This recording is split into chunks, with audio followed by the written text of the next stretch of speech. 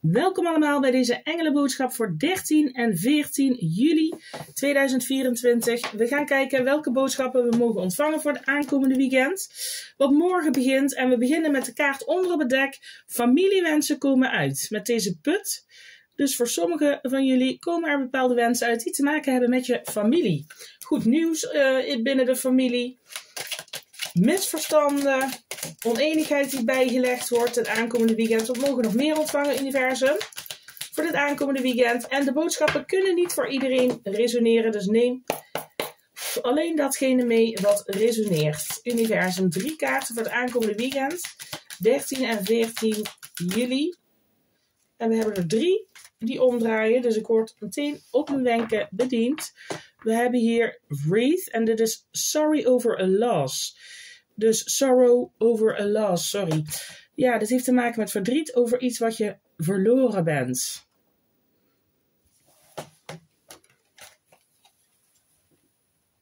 En het kan zijn dat er iets, dat je iets zult verliezen dit aankomende weekend. Maar dit kan ook nog zo zijn dat je inderdaad ja, die pijn, dat verdriet het aankomende weekend zult voelen. Of daarmee geconfronteerd wordt met iets wat je bent kwijtgeraakt, een verlies. We hebben ook een oudere vrouw te maken hebben of een relatie met een oudere vrouw. En we hebben de pin en dit heeft te maken met een nieuwe job, een nieuwe carrière. Dus ook dat verlies kan te maken hebben met een verlies van baan voor sommigen van jullie. Maar er komt dus iets nieuws, een nieuwe baan, een nieuwe carrière. En onder op het dek hebben we nu de diamant. Je zult een kostbaar geschenk ontvangen of geven in dit aankomende weekend. Dus misschien eh, staat er iets op de planning en heb je een, een geschenk voor iemand. Of je zult zelf een, eh, een kostbaar geschenk ontvangen. En dan gaan we de volgende stapel erbij nemen. En onder op het dek hebben we ja, en die komt eh, de laatste tijd vaak naar voren. De caterpillar, de rups. De dingen zullen niet altijd zijn zoals ze nu zijn. Er komt verandering. Universum, we mogen nog meer ontvangen voor het aankomende weekend 13 en 14 juli 2024. Drie kaarten alsjeblieft. We hebben er twee. Oh, we hebben er drie. We hebben de vrouw te maken hebben of een relatie met een vrouw. Dus twee keer een vrouw, een oudere vrouw en een vrouw zonder leeftijd. En dan hebben we de beer. Gevaar, specifiek als het gaat om geldzaken. Dus pas op, je financiële situatie kan in gevaar zijn. Er kan zich iets voorvallen dit weekend wat te maken heeft met geld. En we hebben een dog far away, een verre vriend, denkt aan je. Een verre vriend denkt aan je. En dat kan iemand zijn die zich daadwerkelijk op afstand bevindt. Het kan ook zo zijn dat er op dit moment afstand tussen jou en een persoon is. Die aan je denkt. Onder op het dek hebben we de Kane. Let op je gezondheid. Specifieke boodschap. Let op je gezondheid. En ik zie onder die kaart de muizen liggen. Ja, oneenigheid onder vrienden of familie. Zoals ik zei, die familiewensen komen uit. Het kan zijn dat er een bepaalde oneenigheid opgelost wordt. Dan heb ik een heel nieuw deck vandaag uh, aangeschaft. En dit zijn de boodschappen van aartsengel Michael. Michael. En ik wil uh, ja, meteen beginnen met een boodschap. Na het voorschudden op de energie hebben we deze kaart die er naar voren mag komen. En dat is Increase Your Knowledge. Nummer 15 kan ook belangrijk zijn. Dus het uitbreiden van je kennis. Leren brengt nieuwe mogelijkheden. Neem een cursus, pak een boek, vind een mentor uh, die jou kan leren wat jouw, waar je ziel naar verlangt om te leren. Dus je kennis uitbreiden. Universum. Aartsengel Michael. Wat mogen wij nog meer ontvangen? Oeh. Nou, de kaart vliegt eruit. Nou, even het weer rechtop zetten. Oeh, we hebben kaart nummer 28 vereenvoudigd tot 10. Dus ook 28 en 10 kunnen belangrijke cijfers zijn. Iemand nieuw komt eraan. Een hele belangrijke nieuwe relatie ligt aan de horizon. Hou een open mindset en open je hart, zodat het geluk je leven kan binnentreden. Dus een nieuwe connectie ligt aan de horizon. En ja, dit kan zijn in een uh, in liefde, het kan ook vriendschap zijn. Maar het is een belangrijke nieuwe relatie die aan de horizon ligt. We gaan de tarotkaarten erbij nemen. En kijken wat deze ons voor boodschap kunnen geven. We hebben de zegenwagen. Ja, een hele mooie kaart. Kreeftenergie. Beloningen. Succes behalen. Ja, beloning voor hard werk. Ehm, het kan ook zo zijn dat je veel prioriteiten uh, op dezelfde tijd uh, kan balanceren. Dus met veel dingen tegelijk bezig zijn. Dingen goed managen, een succes maken. Maar dit is ook een kaart van doorzettingsvermogen en moed hebben. Controle hebben over een situatie, wilskracht. Het kan ook te maken hebben met publieke erkenning krijgen. Maar dit is een hele snelle energie. De snelste grote arcana kaart. Op weg naar ja, je succes vastbeslotenheid, vastberadenheid, maar ook moedig zijn om die eerste stap te zetten. En het kan zo zijn dat je inderdaad dit, dit weekend een beslissing gaat nemen. Uh, welke optie ga je kiezen? Er kan wat verwarring zijn geweest met die kelke 7 die we eronder hebben liggen. Uh, geen keuze kunnen maken. Overanalyseren uh, van een situatie. En dat je dit aankomende weekend wat helderheid gaat krijgen in ja, welke richting je uit wil gaan met die zegenwagen. Heb ik voor sommigen van jullie het gevoel. En het kan dus te maken hebben met keuzes omtrent je carrière. Universum. Wat is de boodschap voor dit aankomende weekend 13 en 14 juli 2024. 13 en 14 juli 2024. Oeh, we hebben de zwaarde 3. De kaart van het gebroken hart. Pijn, verdriet. Maar we gaan nog geen conclusies trekken. Nog twee kaarten alstublieft voor dit aankomende weekend. Schildknaap van staven boodschap. Het kan goed nieuws zijn. Het kan te maken hebben met een nieuw begin, een nieuw avontuur, een nieuwe, ja, een nieuwe start van iets. Iets compleet nieuws. Het kan ook een nieuwe relatie zijn. Want we hebben hier iemand nieuw komt er in je leven. Een belangrijke connectie. Oeh, dat zijn er te veel. Nog één kaart universum voor het aankomende weekend. Nog één kaart. En die zware drie die we als eerste kaart hebben, dat kan ook te maken hebben met het healen van een bepaald misverstand. Een nieuw start, een nieuw begin, positieve communicatie die er plaats gaat vinden. Ja, en de kelke 5, en die kwam tijdens het voorschudden ook naar voren. En dit is ja, vast blijven houden, verdrietig zijn, je down voelen. En het kan dus te maken hebben met een verlies. Met dingen die niet gelopen zijn zoals je wil, bepaalde teleurstellingen, eh, ja, spijt hebben van bepaalde keuzes. Maar het kan ook te maken hebben met een verlies. En dit is inderdaad nog steeds daarmee bezig zijn, daar nog steeds op gefocust blijven. De dingen lopen niet zoals je wil, maar er is misschien vergeving nodig voor jezelf, voor anderen.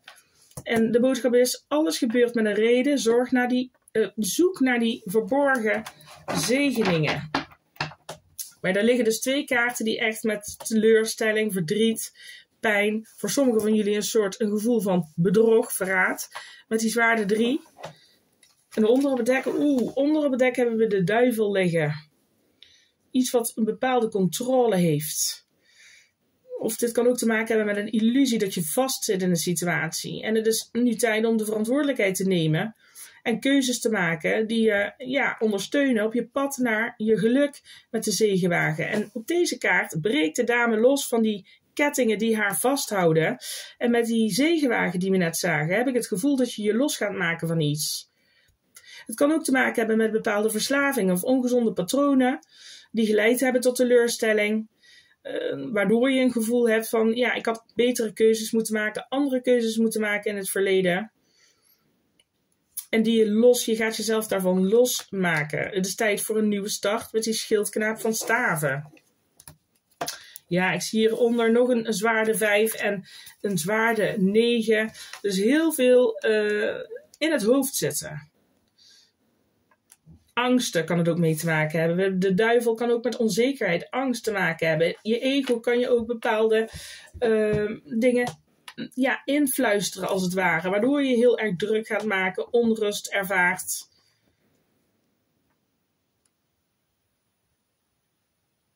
Het gevoel hebben de dingen die er gebeurd zijn, maar niet langs je neer te kunnen leggen. En het maar niet los te kunnen laten. Dus we gaan de kaarten verklaren. Onder op het dek, ja, daar hebben we wel een hele mooie kaart om mee te beginnen. Is de staven 6. Dit is iemand die uh, ja, die moeilijke periode heeft overwonnen en verder kan gaan, iets achter kan laten, succes behaalt en ook weer een kaart van publiekelijk erkenning krijgen. Zeker met die zegenwagen zal dat voor sommigen van jullie dat je op een bepaald vlak erkenning krijgt of iemand geeft je ja, ziet toch inderdaad dat je op de een of andere manier gelijk hebt in de situatie. En je krijgt die erkenning van deze persoon het aankomende weekend met de staven 6. Het kan ook zo zijn dat je talent inderdaad gezien wordt, want het is ook iemand die aandacht krijgt. Die op een soort van voetstuk geplaatst wordt, geprezen wordt. En mensen zien je talent.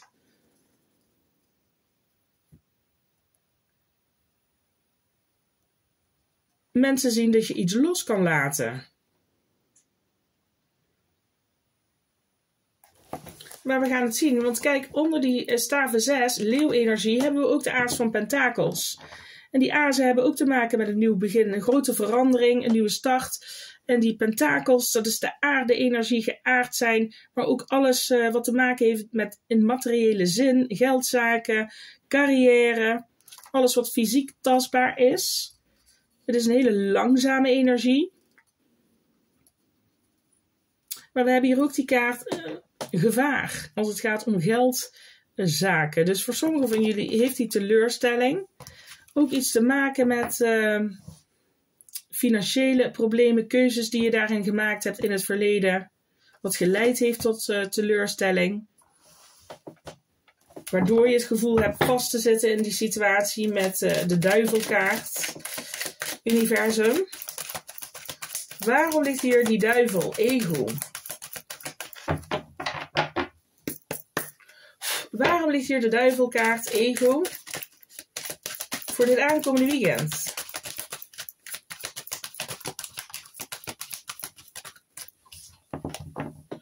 Oeh, en ik zag hem net dus uh, ook onder op het dek liggen, de zwaarde 5. En hier komt hij weer. Ja, en dit vind ik zelf een van de minste kaarten uit uh, de tarot, eigenlijk die zwaarde 5. Het kan een energie zijn van ja, niet opgeven, willen winnen, kosten wat het kost. Je ergens echt in vastbijten, dingen aan de kant zetten. Maar dit kan ook iemand zijn in je omgeving. Het kan iemand zijn die manipulatief is. Iemand die spelletjes speelt met die zwaarde vijf. Iemand die oneerlijk is. Achter de rug om, afgunst. Ja. Onder die duivel. Oeh, dit is echt uh, ja, een stukje manipulatie. Dus je kunt te maken hebben met iemand die uh, ja, jou of een situatie probeert te manipuleren. Oeh, en weer de duivel. Nogmaals. En de staven 5, conflicten, machtsstrijd, innerlijk conflict, controle willen houden. Oeh, er is iets of iemand wat een bepaalde controle uh, wil houden of houdt over je.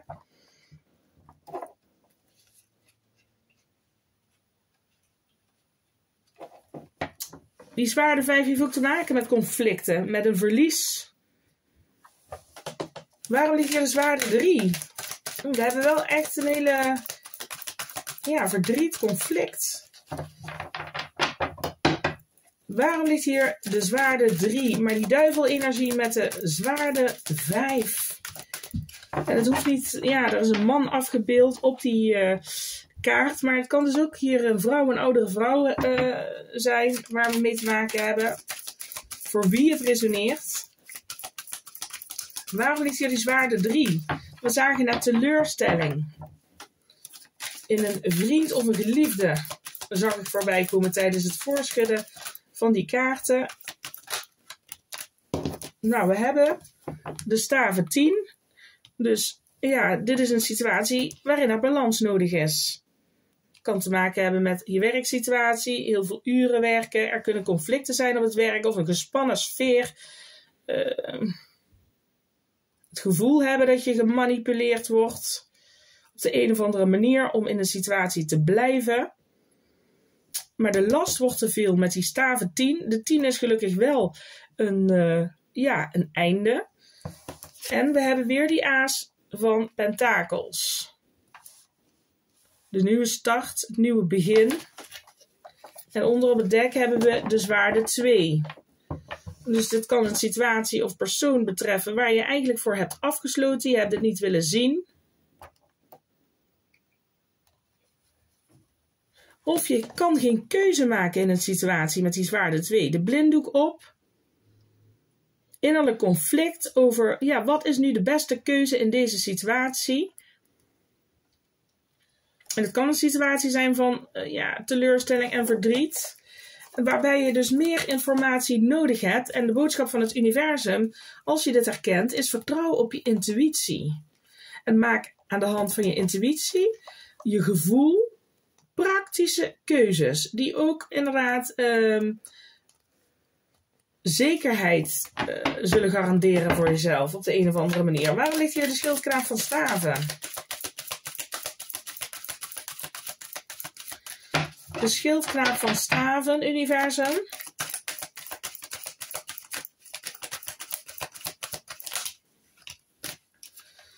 De zwaarde 9. Ja, overanalyseren. Angsten. Heel veel energie van in het hoofd. Maar we hebben hier een transformatie met de schorpioenenergie. Een einde, een, een situatie die zal beëindigen of zal transformeren. Sta open voor die verandering. Want ook met de zwaarde 2, je kunt jezelf ook blokkeren op die manier. Dus iemand die zijn handen gekruist heeft, zijn hart wil beschermen, bang is om stappen te zetten. Dus sta ook open voor de verandering die er binnen wil komen met die uh, doodkaart die we hier hebben. Verandering kan ook ja, beangstigend zijn.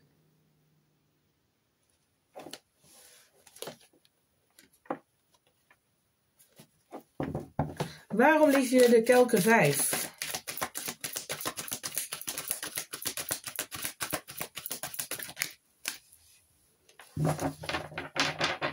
De kelke 5 universum voor dit aankomende weekend.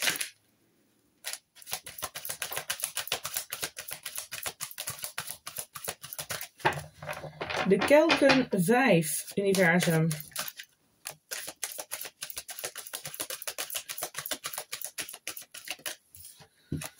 staven 8. Dit kan te maken hebben met communicatie die er binnen gaat komen. Uh, dit kan ook te maken hebben met heel veel uh, tegelijkertijd doen. Um, wat we net ook zagen. En staven 8 kan ook te maken hebben met nieuwe kansen, nieuwe mogelijkheden. Waarom ligt hier de kelke 5?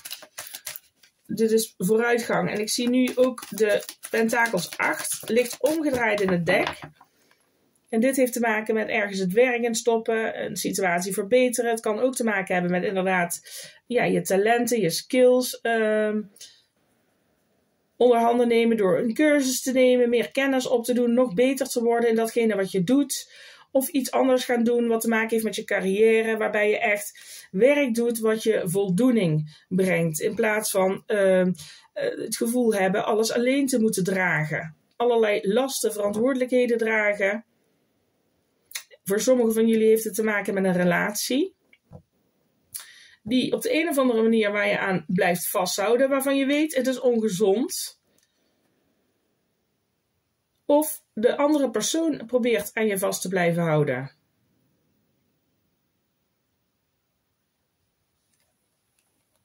Pentakels 8.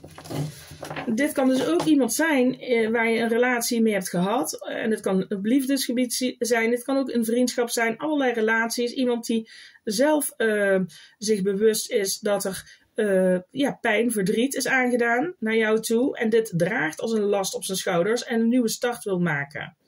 Iemand is aan het nadenken, is echt, gaat door een, ja, een, een diep dal, is aan het overanalyseren, heeft slapeloze nachten over uh, hoe ga ik communiceren, hoe ga ik uh, verandering brengen in een situatie. Iemand heeft spijt van bepaalde uh, gewoontes of bepaalde dingen die er gebeurd zijn. iemand heeft spijt van keuzes die er gemaakt zijn. Maar ik zie nog steeds diezelfde energie met de duivel en de zwaarden 5. Waarom hier de kelken 5? Waarom ligt hier de kelken 5?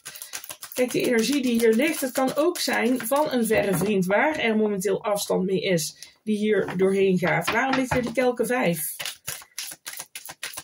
Waarom ligt hier de kelken 5?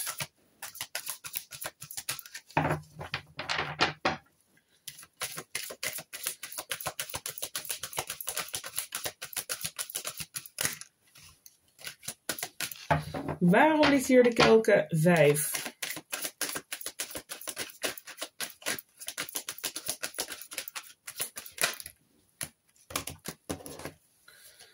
We hebben de magier.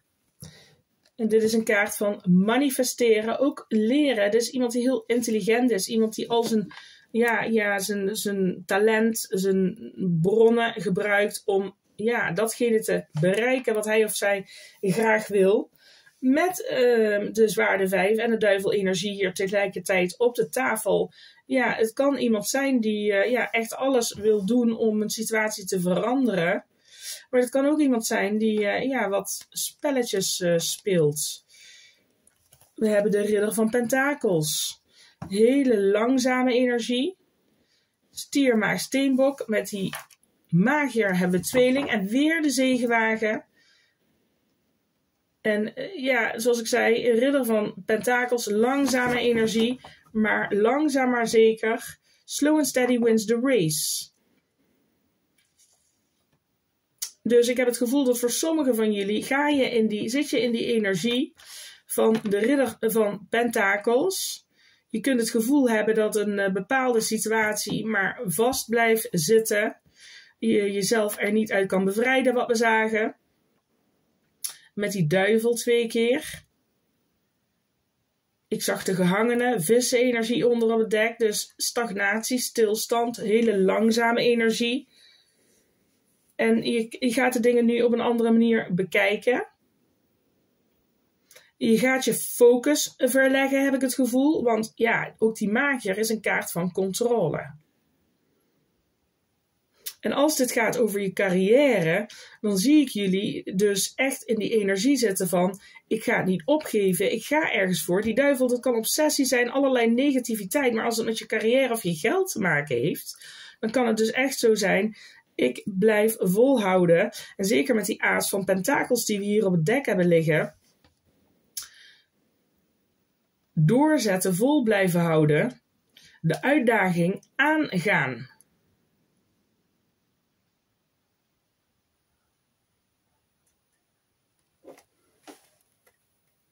Kijk, we hebben hier de onzekerheid met de maan onder op het dek. Vissen kreeft energie. Bang voor het onbekende.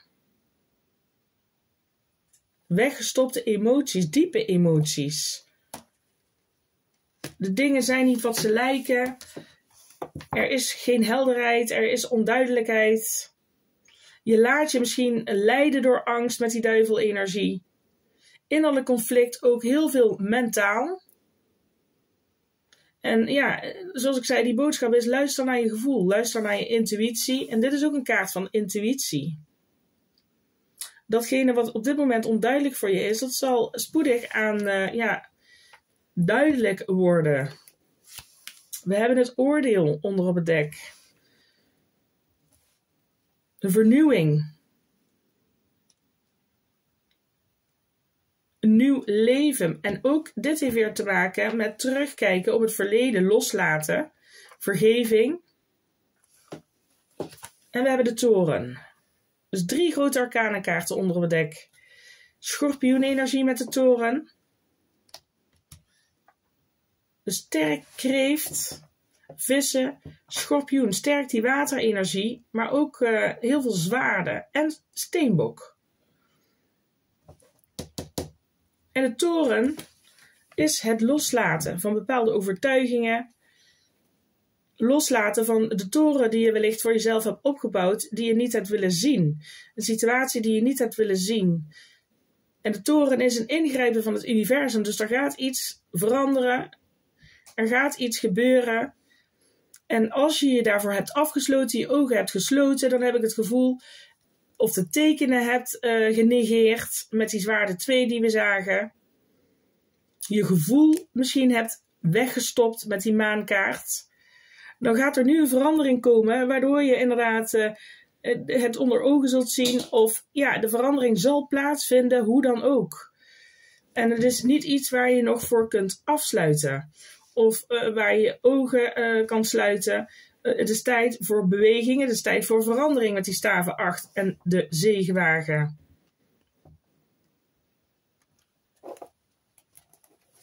Onder al die grote arcane kaarten hebben we de Kelken 9. Dit is een kaart van dankbaarheid, tevredenheid, emotionele balans.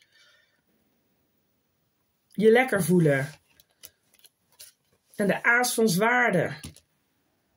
Dus die helderheid krijgen, de beslissingen nemen. Iets waar je heel erg over hebt nagedacht, heel erg mee hebt gezeten.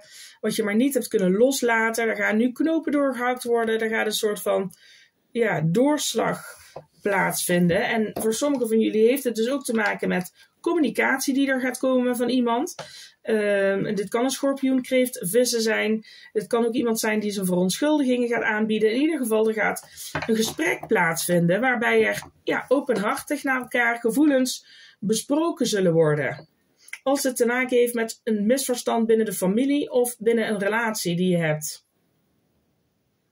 Het kan letterlijk zo zijn dat er dingen worden geadresseerd die te maken hebben met ongezonde patronen, die zorgen voor conflict in je connectie die je hebt met iemand. Maar ik zie jullie in ieder geval het verleden, de dingen die er teleurstellend zijn geweest, het verdriet, kan over gesproken worden, maar dit is iets waar je een soort van overwinning in gaat behalen, ook een soort van erkenning gaat krijgen, maar iets wat je achter gaat laten, omdat je zelf die controle in handen gaat nemen.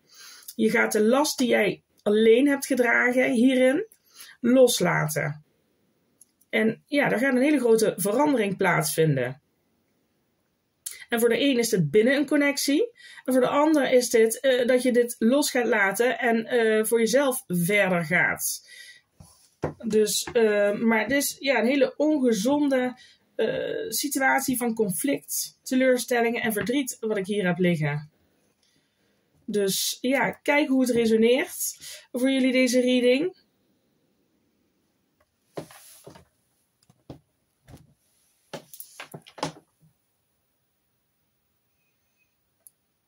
En laat het me zeker weten in, uh, ja, in de reacties. Ik uh, ben heel erg benieuwd. Ik wens jullie in ieder geval een heel mooi, fijn weekend toe. En tot de volgende keer. Dag!